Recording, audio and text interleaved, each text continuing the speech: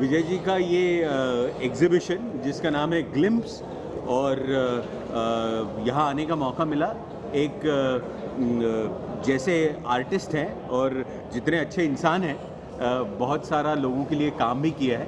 और आज एक पेंटिंग में जो नए प्रयोग हो रहे हैं, उसमें सबसे आगे वाला हाथ विजय जी का है, जिन्होंने ये जो किंगडम सीरीज़ है उसका बड़ा अट्रैक्शन मुझे भी था क्योंकि तस्वीरें देख रहे थे लेकिन आज देखने का मौका मिला और ये नए कंटेम्पररी आर्ट में वुड और कलर का जो कॉम्बिनेशन आहे आणि मधाच्या पोळ्याला काय म्हणतात हिंदीत? हनी.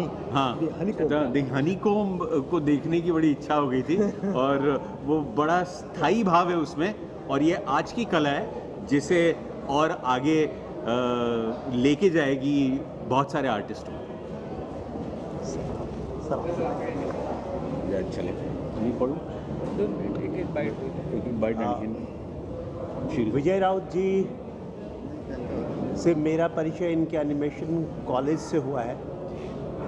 लेकिन इनकी कलाकृतियाँ इतनी बेहतरीन और इतनी जादुई हैं इतनी सम्मोहक हैं कि जैसा द किंगडम सीरीज़ में दिखाई पड़ रहा है कि रानी मधुमक्खी के पीछे, छत्ते में, सारे के सारे दूसरे मधुमक्खी, जो श्रमिक मधुमक्खी हैं, वो चिपके जा रहे हैं। वैसे ही, हम जो कला प्रेमी हैं, इनके कलाओं से चिपके हुए महसूस कर रहे हैं।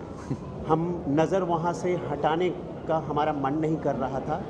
हम शायद यहाँ से जाने के बाद भी, द किंगडम की क्वीन अर्थात रानी मधुमक्खी और उनके सेवक मधुमक्खियों के बीच के अंतर संबंधों को बहुत अच्छे तरीके से उकेरती हुई इस चित्रकलाओं को भूल नहीं सकते। वुड और कलर का जो कॉम्बिनेशन उन्होंने इतने बेहतरीन तरीके से किया है।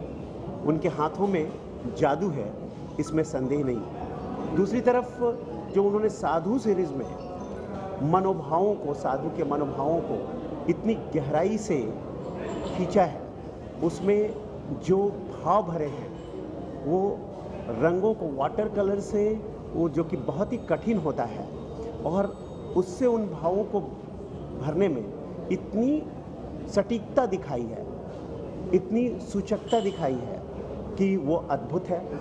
कुल मिलाकर जो मोशन वाला आर्ट भी है, वो तो नई दुनिया की ओर ले जाता है, जहाँ जो चित्र है, वो आपके साथ मूव करते हुए देखते हैं, आपके साथ गतिमान होते हुए देखते हैं। तो जीवन के रहस्यों के साथ, जहाँ रानी मधुमक्खी है, दूसरी मधुमक्खियाँ हैं, जीवन मतलब जीवन के विभिन्न रहस्यों को वहाँ पर वो उद्घाटित करती हैं तो दूसरी तरफ़ अध्यात्म की तरफ़ ले जाने वाला साधु का सीरीज़ है और तीसरी तरफ़ पोर्ट्रेट के बाद मोशन पिक्चर है जो हमें आगे बढ़ने का संदेश देता है। तो कुल मिलाकर एक नई भूमिका है और चित्रकला की दुनिया को एक नया संदेश देगी।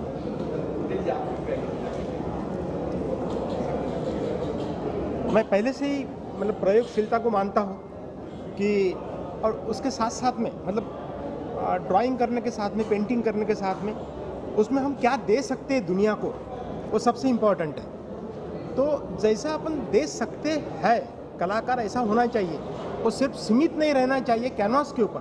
तो उसका कैनवास, उसका समाज होना चाहिए। वो शायद समाज का प्रणेता होना चाहिए। शायद इसीलिए मैंने मेरे कला के साथ में वृद्धाश्रम भी किए। मेरे कला के साथ में मेरा स्कूल भी है। मेरे कला के साथ में मेरी प्रयोगशीलता भी है। और मुझे ऐसा लगता है कि मैं एक बात करूँ, और वही बात मैं दोहराते रहूँ ज़िंदगी भर, उसमें कोई मतलब नहीं है। अगर मैं दुनिया को दे सकूँ, कुछ लाया तो कुछ नहीं। अगर मैं देना चाहता हूँ तो मुझे भगवान ने मौका दिया है देने का। मैंने देने की कोशिश की है, मैं वो कोशिश करता रहूँगा। धन्यवाद।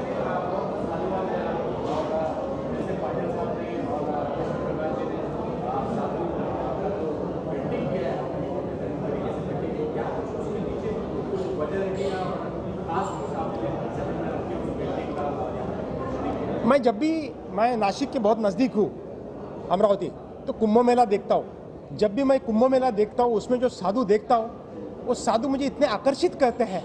कभी कभी मन होता है कि साधु जैसा भाग जाऊँ वहाँ पे हिमालय में। तो वो जो भाग जाओ वाली जो बात है वो जो अट्रैक्ट करने वाली बात है वो साधु ने मुझे प्रवृत्त किया। है। प्रवृत्त किया कि मैं उसको एटलीस्ट मैं जा नहीं सकता, लेकिन मैं कैनवास पे उतार सकता हूँ। तो मैंने उतारने की कोशिश की। उनके जो हाव भाव है, इसमें नागा साधु है। नागा साधु के हाव भाव अगर मैं घर में लगाऊँ तो कोई पसंद नहीं करेगा। लेकिन उनके जो भाव है, उसमें जो विरक्ति है, इस दुनिया के प्रति जो विरक्ति है और जो उनकी भावना है, वो भावना अगर मैं कैनवास के ऊपर उतारूं तो उसके जैसा कोई मुझे ऐसा लगता नहीं चैलेंज है करके। तो मैं करने की मैंने कोशिश की है।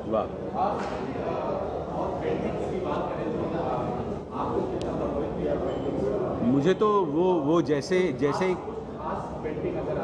मुझे अ, मुझे ये वैरायटी ने बड़ा अचंभित कर दिया है क्योंकि एक तरफ़ आगे जाने वाली प्रयोगशीलता है एक तरफ़ पोर्ट्रेट्स हैं एक तरफ़ कैरिकेचर है एक तरफ़ मोशन पेंटिंग है।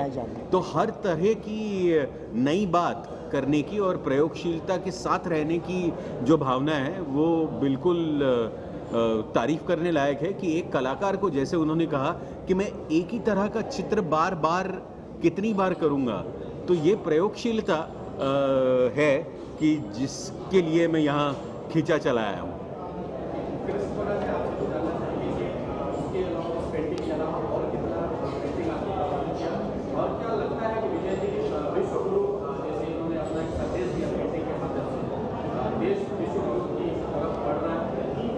बिल्कुल, जो व्यक्ति रूढ़ होना नहीं जानता, जो व्यक्ति आगे बढ़ना जानता है, जो व्यक्ति प्रयोग धर्मी होता है, जो व्यक्ति पूरी निष्ठा के साथ नए क्षेत्र में कदम रखने का साहस रखता है, जो जोखिम उठाता है, वही नया इतिहास करता है। इसलिए इसमें मतलब हमारे राउत जी की इन पेंटिंग्स के माध्यम से हम विश्व में चित्रकला को नए आयाम देने के निसंदेह प्रयत्न करते हैं।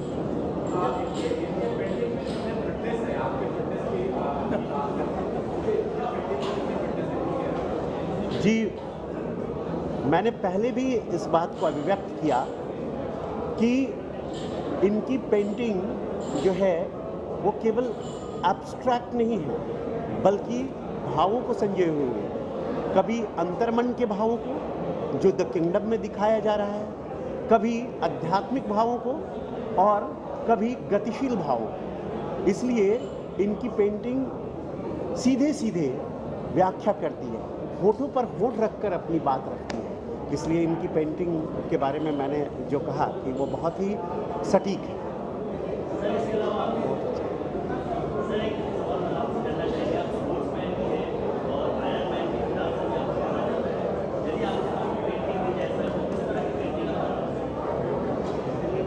जी। जी, मैं पेंटिंग बनाना चाहूँगा मानव मन की जटिलताओं की, क्योंकि मानव मेरे लिए केंद्र बिंदु है, जैसा कि इन्होंने पहले भी कहा। मेरे लिए विचारधारा से आगे बढ़कर जिस मानव समाज में हम जी रहे हैं, जिस मानव समाज के पुनर्निर्माण या उसके जीवन को सुंदर करने के लिए जैसे ये योगदान दे रहे हैं तो किस तरह से उनमें उनकी जटिलताएँ हैं? उन जटिलताओं को कैसे उकेरा जा सके? और उन जटिलताओं को कैसे सुलझाया जा सके? यही मेरे आ, मैं उस पेंटिंग के प्रति अपने आप को प्रवृत्त करूँगा। एक संस्कृति का भाग है। जो भी कलाकार अपनी पेशकश करते आप अभिनेता है हम शिल्पकार है विजय ऑलराउंडर आर्टिस्ट है। कभी छेड़ा जाता था कि आप तो अप्लाइड आर्टिस्ट है जाहिरात करने वाले हैं। और आज आप देखेंगे वो कला का नेतृत्व कर रहे हैं कि मैं कला को बदला के दिखा सकता हूँ और मेरी कला वही मूल्य के साथ में लोग लेके आएगी कि दूसरे को मेरा लोहा मानना पड़ेगा कि मेरी कला आज की कला है। वाह। ये जो हुकूमत है उसके पीछे उनकी एक बहुत बड़ी परिश्रम लेने की क्षमता है। विजय एक ऑलराउंडर व्यक्ति है, उनका जो रियलिस्टिक स्ट्रोक है, उनकी जो कंप्यूटर के ऊपर बैठ के उसको एस्थेटिक फॉर्म में लाने की जो हिम्मत है और उनका पेंटिंग रिलीफ करके सामने निकालने की जो कला है, हम भी अपनी कला पेश करते हैं, लेकिन विजय राउत एक नया मोड़ लेके आए हैं। वो आज का मोड़ है, आज का दौर है। ये देश और दुनिया में एक कला संस्कृति में एक नई पहल है समाज उसकी दखल ले। समाज इसका संग्रह कर ले। मीडिया इसको दिल चाहे अच्छी प्रसिद्धि दे ताकि आने वाली जो पीढ़ी है इनसे प्रेरणा ले।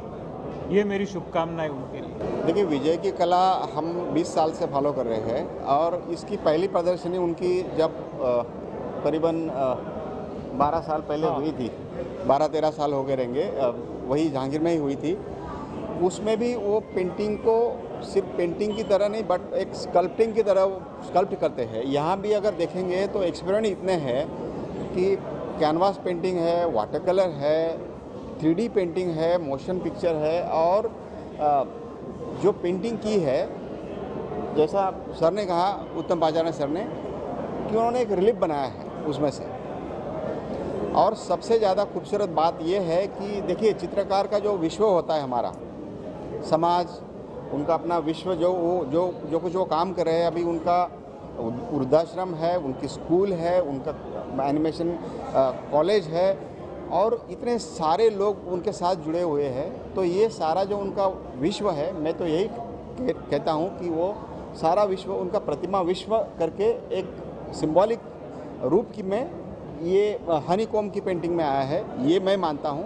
हालाँकि हनी कॉम की पेंटिंग को अलग अलग तरह से आप रीडिंग कर सकते हैं। एज ए रियलिस्टिक पेंटिंग देख सकते हैं, उसको एज ए सिम्बॉलिक पेंटिंग देख सकते हैं एज ए उसको तो स्कल्पचर देख सकते हैं। तो ये नया ट्रेंड है, नया एक्सपेरिमेंट है। और जैसे इन्होंने कहा कि 20 साल आर्टिस्ट वही वही पेंटिंग करते हैं। ये पहले से ही इन्होंने कहा एग्रेसिव रहे हैं। तो एग्रेसिव आदमी एग्रेसिव चित्रकार एग्रेसिव कलाकार एक जगह नहीं रह सकता, एक स्टाइल के साथ, एक सब्जेक्ट के साथ काम नहीं कर सकता, यही उनकी खूबसूरती, यही उनका विश्व, उसकी पेंट उनकी पेंटिंग में आया है। ये- ये जो यहाँ पर एक्सपर्ट्स आए हुए हैं आर्ट आर्ट के फ़ील्ड के, हम थोड़ा बाहर से देखते हैं आर्किटेक्चर डिज़ाइनर्स ये जो इनकी आर्ट है, आपने इनको सवाल पूछा ये क्या ये, यानी, बढ़ेगी? तो मैं तो ज़रूर कहूँगा कि हमारी जो हमारा देश का सोशो इकोनॉमिकल स्टेटस भी बढ़ रहा है। हमारी आर्थिक परिस्थिति बढ़ रही है। हमारे एयरपोर्ट्स सुधर रहे हैं, बहुत कुछ हो रहा है। तो इसमें ये जो आर्ट है, इन्होंने आज जो एक्सपेरिमेंट दिखाई है, आने वाले समय में इसका बहुत बड़ा उपयोग होगा। और ये सबके बस की बात नहीं है ये जो आर्टिस्ट के जो, ये प्रतिभा है अगर ये सबके पास होती तो फिर इसकी कीमत नहीं होती। जैसे अभी पाटिल साहब ने कहा, 42 टू इट्स अ रिकॉर्ड तो आई विश के विजय और हमारे उत्तम जी है, सभी लोग, इनके अच्छे दिन आ जावे, जल्दी से जल्दी। अच्छे दिन आर्ट के है ही, लेकिन मैं तो सिर्फ़ ये पैसे के लिए नहीं देख रहा हूँ बट इनकी प्रतिभा आज अमरावती से ये कर रहे हैं। और ये इंटरनेशनल क्लास की, मैं मैं पाँचों खंडों पे घूमता रहता हूँ। मैं I am into sports Olympics किया हूँ, सभी गेम्स किया हूँ। तो जो आर्ट जब सब जगह देखता हूँ, सब एयरपोर्ट्स में देखता हूँ, सब होटल्स में देखता हूँ, दुनिया में जहाँ जहाँ कल्चर है, वहाँ पे art plays a very important role और मुझे लगता है ये आर्ट उसी स्टैंडर्ड की है जो मैं इंटरनेशनली देखा हूँ. तो what more I can say about this